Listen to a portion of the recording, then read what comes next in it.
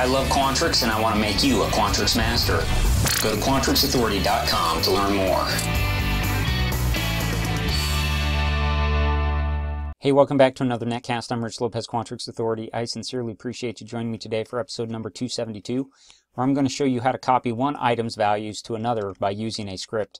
I'm going to quote, I'm going to quote the man, the myth, the legend, Mike Salisbury when it comes to scripting. He says that scripting in Quantrix is really good for basic tasks. And I completely agree with that. I'm not a script master, but I just wanted to show you a little snippet of scripting that I've come across that I needed to employ today.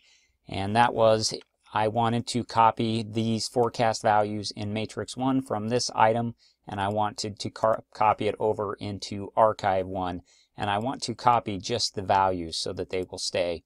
So how do you do this in Quantrix with scripting? You go ahead and you go to scripting, script manager. It goes ahead and opens up the script manager here. You can click an A with the little plus sign on it and it goes ahead and gives you an action. I have an action here. I'm calling it action 2. And what I'm going to do is I'm going to say that I want to take matrix 1 and in order to uh, reference a matrix in Quantrix, you go ahead and you type in the pipe character eh, or the bar vertical, and then you start to type the name of it, and you can see that it has this autocomplete here, and you separate it just like you would with normal syntax, and I'm going to say matrix 1 forecast, and then I'm going to close pipe that, and I want to select the cells only, and I want to copy those cells like this. And then the destination where I want to paste the cells is going to be in matrix 1 again, and it is going to be in archive. And I'm going to close pipe that, and I'm going to go cells only, and I am going to select paste.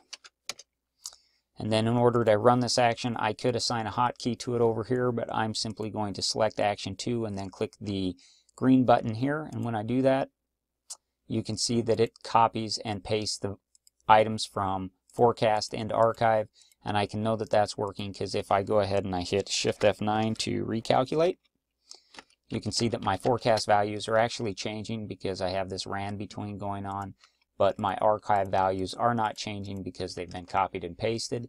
If I would like to copy and paste them again, again I would go here to actions, I would paste it, or I'd play it and then you can see that my values actually do match because I did copy them and I did paste them.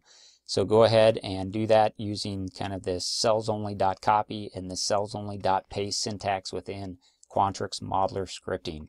If you have any questions about Quantrix, I hope that you'll reach out to me at quantrixauthority at gmail.com. I absolutely love Quantrix. Today I was using it. I did something amazing at my day job with it. You know, just kind of revolutionary stuff. And I said to my colleague, I said that this tool is what keeps me coming to work every day. It's using Quantrix. I love it.